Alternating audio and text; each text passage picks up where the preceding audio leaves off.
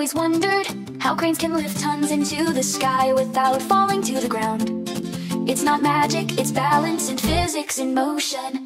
A crane doesn't stay up because it's heavy, it stays up because its center of gravity stays inside its base of support. If that center moves outside, the crane would tip. So engineers fight gravity with balance. When the arm lifts weight on one side, giant counterweights push back on the other. Of steel, where torque on each side must match. Torque is force times distance from the pivot. And every lift must keep that equation true.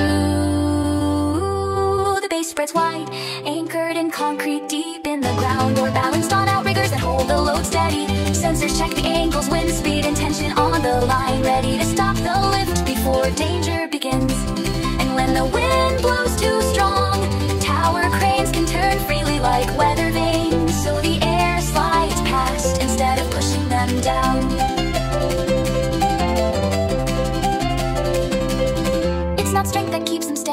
perfect engineering, a balance of weight, distance, and design, keeping giants steady against the sky.